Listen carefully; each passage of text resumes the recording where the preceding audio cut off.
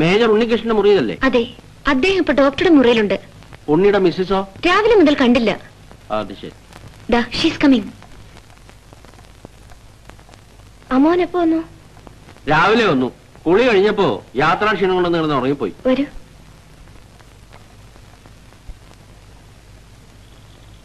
എങ്ങനെയുണ്ട് മോളെ ഉണ്ണിക്ക്? ഒന്നും പറയാറായിട്ടില്ല. ഓപ്പറേഷൻ വേണ്ടി വരുന്ന തോന്നുന്നത്. എന്നാണെന്ന് വല്ലതും പറഞ്ഞോ ആ അമ്മാവൻ വരുന്ന വഴിയാ? എന്ന് ചോദിച്ചാൽ ആണ് എന്നാലോട്ടാണോ? അല്ല. ഞാൻ ഇന്ന് രാവിലത്തെ മെയിലിന് വന്നു. എന്നിട്ട് ഇപ്പോഴാ വരുന്നേ? അതോ? എന്റെ കൂടെ ഇരുപത് വർഷക്കാലം സിംഗപ്പൂരിലുണ്ടായിരുന്ന ശിവരാമ പണിക്കര് ഇവിടുത്തെ നിങ്കമ്പക്കത്തെ താമസം. റെയിൽവേ സ്റ്റേഷനിൽ ഇറങ്ങി നേരെ അവിടെ ചെന്നു. അവിടെ ചെന്നപ്പോഴാണ് അറിയുന്നത് പണിക്കര് മരിച്ചു. ഒന്നര വർഷം കഴിഞ്ഞു. എന്നെക്കാൾ അഞ്ച് വയസ്സിന് എളുപ്പം. അതറിഞ്ഞപ്പോ ഒരു ഹോട്ടലിലേക്ക് മാറിയാൽ എന്താന്ന് തോന്നി. പക്ഷെ സുശീല വിടണ്ടേ? മിസ്സസ് പണിക്കർ. അത് പിന്നെ ശരിയാ. ഭർത്താവ് മരിച്ച സ്ത്രീ ആവുമ്പോ അവരുടെ വാക്ക് നമുക്ക് തട്ടാൻ പറ്റത്തില്ലല്ലോ. ഞങ്ങൾ വളരെ അടുത്ത ഫാമിലി ഫ്രണ്ട്സ് ആയിരുന്നു. ഓ അത് ശരി. എന്ന് വെച്ചാൽ ഇരുപത് വർഷം മുമ്പേ അവർ അമ്മാവിനെ നോട്ടം ഇട്ട് വെച്ചതാന്ന് അർത്ഥം. ഉണ്ണി പറഞ്ഞ അർത്ഥത്തിലാണോ എന്ന് എനിക്കറിയില്ല. അവർക്ക് എന്നെ വലിയ കാര്യമാണ് അതിനിപ്പോ അവരെ കുറ്റം പറഞ്ഞിട്ട് കാര്യമില്ല. ഒരു പത്ത് പതിനാറ് വയസ്സുള്ള പെമ്പിള്ളേരാണെങ്കിൽ പോലും അമ്മാവനെ ഇഷ്ടപ്പെട്ടു. കാരണം അമ്മാവന്റെ മുഖത്തിന്റെ ഒരു ഒരു ഒരു ഒരു ആ ശ്രീ അങ്ങനെ. അത് എന്നെ ഉണ്ണി ഒന്ന് ഇരുത്തിയതാ. അല്ലമ്മാവാ മിസ്സസ് പണിക്കരുടെ അടുത്ത പരിപാടി എന്തുവാ? ഭർത്താവ് മരിച്ചു എന്ന് വെച്ച് ജീവിതം വേണ്ടെന്ന് വെക്കാൻ പറ്റുമോ?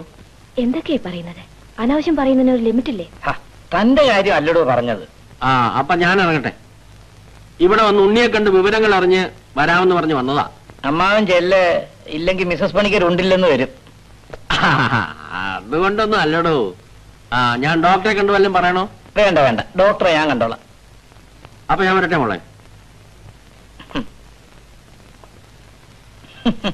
പ്രായമായ ഒരാളോടാണ് സംസാരിക്കുന്നതെന്ന് ഒരു ബോധമില്ല ഉണ്ണേട്ടന് അമ്മോ നിന്റെ അമ്മാവനെന്ന് നിത്യ ബ്രഹ്മചാരിയാ പ്രായമായി എന്ന് പറഞ്ഞിട്ട് എന്തുവാ കാര്യം? ബാച്ചിലർ എന്ന് പറഞ്ഞാൽ നിത്യ ബാച്ചിലർ അല്ല ഞാൻ പറഞ്ഞ എന്തായാലും മൂത്തവരോട് സംസാരിക്കുമ്പോ ഒരു മര്യാദ വേണ്ടേ? മോളെ പതിമൂന്നാം തീയതിയാണ് ഓപ്പറേഷൻ. പതിമൂന്നാം തീയതി നിനക്ക് ഓർമ്മയുണ്ടോ?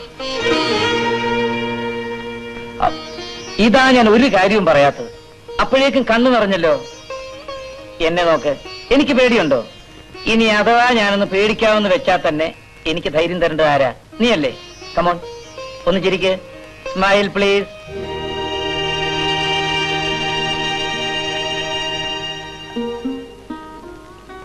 നാല് വർഷങ്ങൾക്ക് മുമ്പ് ഇതുപോലൊരു പതിമൂന്നാം തീയതി നീ എന്റെ ജീവിതത്തിലേക്ക് കടന്നു വന്നു. നാല് വർഷങ്ങൾ നാല് നിമിഷങ്ങൾ പോലെ കടന്നുപോയി. പക്ഷെ ആ നിമിഷങ്ങൾക്ക് നാല് ജന്മങ്ങളുടെ നീളമുണ്ടായിരുന്നു.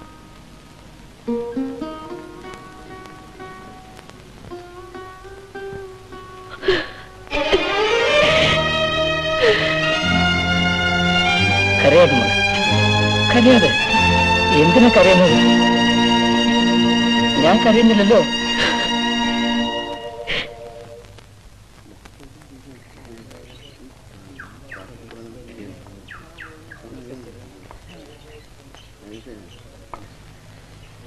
വിഷ്ണു ഇപ്പൊ എവിടെയാ? അതെ. അമ്മ ഉണ്ണികൃഷ്ണ കാണാൻ വന്നായിരിക്കും. അതെ വിഷ്ണു? അവരെ കാണാൻ തന്നെ. ഉണ്ണികൃഷ്ണനെയോ? അതെ. പറയുമ്പോ അലോഹ്യം തോന്നരുത്. ചിരിയും കളിയും തമാശയൊക്കെ ഉണ്ടെങ്കിലും ഉണ്ണികൃഷ്ണൻ ഉണ്ടല്ലോ. മനസ്സിലുള്ളത് വെട്ടിത്തുറന്ന് പറയുന്ന പ്രകൃതക്കാരനാണ് വിഷ്ണുവും അമ്മുവും തമ്മിലുള്ള കാര്യങ്ങളൊന്നും അയാൾ അറിഞ്ഞു കാണില്ല. അങ്ങോട്ടോ ഇങ്ങോട്ടോ എന്ന് വെച്ച് കിടക്കുന്ന ഈ അവസരത്തിൽ മനപ്രയാസം ഉണ്ടാക്കുന്ന കാര്യങ്ങളൊന്നും പറയുന്നത് ശരിയല്ല. കുട്ടിക്കാലത്തെ മനസ്സിന്റെ പുളപ്പ് കൊണ്ട് പലതും തോന്നും. അതൊക്കെ അങ്ങോട്ട് മറക്കുക. അതിനാണ് വിവേകം വിവേകം എന്ന് പറയുന്നത്. ഒരു നിമിഷ നേരത്തെ ഒരു നോട്ടപ്പശ മതി ഒരു കുടുംബം തകരാൻ. മനപ്രയാസം ഉണ്ടാക്കാൻ വേണ്ടി പറഞ്ഞതല്ല പഠിച്ച ആളല്ലേ താൻ പിന്നെ കുറെ കൂടെ ലോകം കണ്ട് മനസ്സിലാക്കിയും അതനുസരിച്ച് പ്രവർത്തിക്കാനും വേണ്ടി പറഞ്ഞതാ അപ്പൊ ഞാൻ വരട്ടെ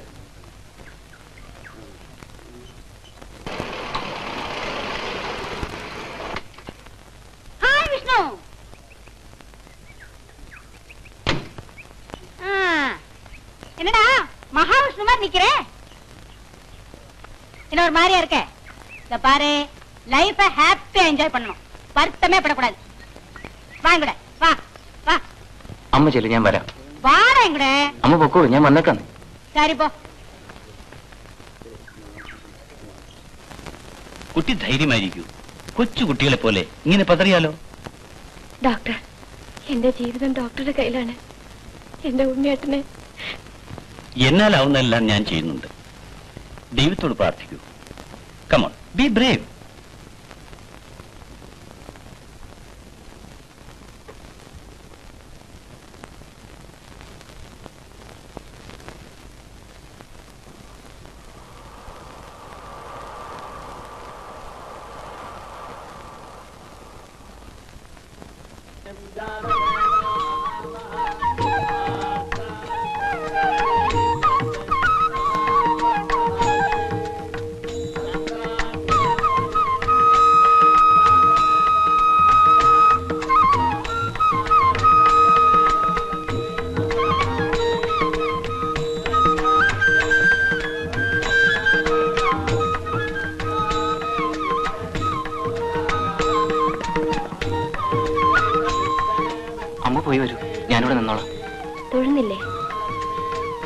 ഒരുപാട് തൊഴുതാണ് ഒരിക്കലെങ്കിലും ദൈവങ്ങൾ എന്റെ നേരെ പ്രസാദിച്ചില്ല.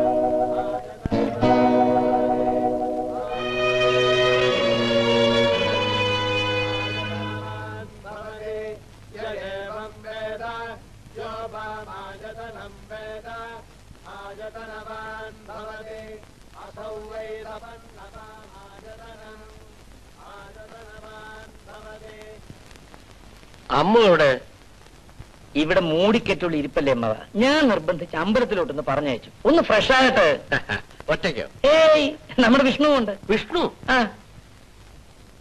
വല്ലവരുടെയും കൂടെ ഈ പരിചയമില്ലാത്ത നാട്ടിൽ ഒറ്റയ്ക്ക് പറഞ്ഞയക്കുന്നത് അത്ര ശരിയല്ല. അതിന് അമ്മ കൊച്ചുകുട്ടിയൊന്നും അല്ലല്ലോ. പോരാത്തതിന് വിഷ്ണു നാട്ടുകാരനല്ലേ? ഞാൻ മനസ്സിലാക്കിയിടത്തോളം. വിഷ്ണു അന്തസ്സും സംസ്കാരമുള്ള ഒരു ചെറുപ്പക്കാരനാ. അമ്മാവനൊന്ന് പരിചയപ്പെടേണ്ട ആ എത്തിയല്ലോ. അപ്പോ ഞാൻ ഇറങ്ങട്ടെ. അമ്മാൻ പോവാണോ എന്താ ഇത്ര ധൃതി? കുറച്ച് കഴിഞ്ഞു പോയേ പോരെ അമ്മാവാ. പോരാ. എനിക്ക് അത്യാവശ്യമായിട്ട് ഒരാളെ കാണാനുണ്ട്. അമ്മാവ. ബാഗ്. താങ്ക്സ്.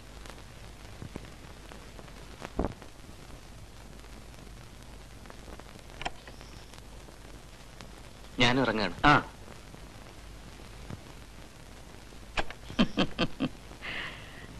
അമ്മാവും പെട്ടെന്ന് പോയതിന്റെ കാര്യം നിനക്ക് മനസ്സിലായോ? നിന്നെ വിഷ്ണുവിന്റെ കൂടെ അമ്പലത്തിൽ അയച്ചത് അമ്മാവന് ഇഷ്ടപ്പെട്ടില്ല. ഈ പാവം കിഴവന്മാർക്ക് നമ്മുടെ ഒന്നും മനസ്സ് മനസ്സിലാകുന്നില്ലല്ലോ. ആണും പെണ്ണും കൂടെ ഒന്ന് സംസാരിച്ചു പോയാൽ ഉടനെ അവിടെ അവിഹിതമായി. ഇനി അഥവാ അങ്ങനെ എന്തെങ്കിലും തോന്നണമെങ്കിൽ തന്നെ അത് ഭർത്താവായി എനിക്കല്ലേ തോന്നുന്നുണ്ട്.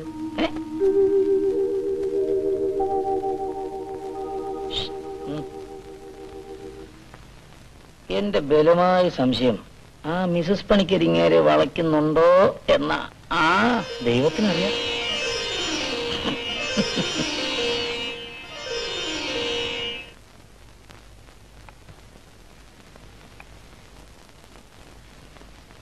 ഉണ്ണി പറഞ്ഞെങ്കിൽ പോലും താൻ അവളെയും കൂട്ടി അമ്പലത്തിൽ പോയത് തെറ്റ് തന്നെയാ. അവൾ തന്റെ കൂടെ വന്നതും തെറ്റാ. അമ്മാവൻ ഇതിലൊന്നും മറിച്ചു വിചാരിക്കേണ്ട കാര്യമില്ല. അമ്മാവൻ വിചാരിക്കുന്ന പോലെ ഇന്ന് ഞങ്ങളുടെ മനസ്സിലൊന്നുമില്ല. അമ്മു ഇന്ന് മറ്റൊരാളുടെ ഭാര്യയാണെന്ന് മനസ്സിലാക്കാനുള്ള ബോധം എനിക്കുണ്ട്. ഞാൻ തന്നെ കുറ്റപ്പെടുത്തുകയല്ല. വിഷ്ണു ഞാൻ തന്നെ പണ്ട് ഒരുപാട് വേദനിപ്പിച്ചിട്ടുണ്ട്. തനിക്കതിലൊന്നും തോന്നരുത്. എല്ലാം മറന്നു കളയണം. അതാണ് കുട്ടി ജീവിതം.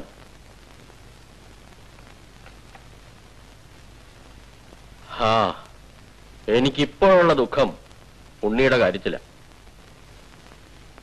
ഓരോ കാലത്ത് ഓരോ ദുഃഖം. മിസ്റ്റർ ഉണ്ണികൃഷ്ണൻ ലോകം കണ്ടിട്ടുള്ള മനുഷ്യനാണ് അമ്മാവ. വലിയ മനസ്സുള്ള വലിയ മനുഷ്യനാണ് അദ്ദേഹം. അദ്ദേഹത്തിനൊന്നും സംഭവിക്കില്ല. ഞാൻ ഇറങ്ങട്ടെ അമ്മാവൻ എന്നെ വിശ്വസിക്കൂ. അമ്മുവിന്റെ ഉണ്ണികൃഷ്ണന്റെയും ജീവിതത്തിൽ ഞാൻ ഒരിക്കലും ഒരു ഉപദ്രവമാകില്ല. തീർച്ച.